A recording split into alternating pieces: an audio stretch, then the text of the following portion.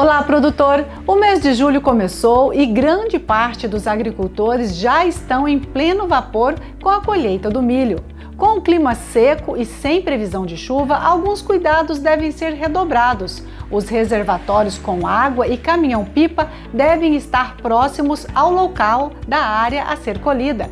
Evite o superaquecimento das máquinas colhedoras e faça periodicamente a limpeza.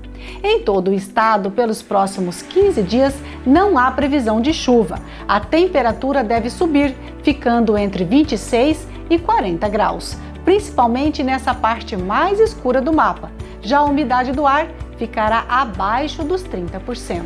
Nós ficamos por aqui. Outras informações climáticas e dicas de prevenção de incêndios em áreas rurais, acesse nosso site e as nossas redes sociais.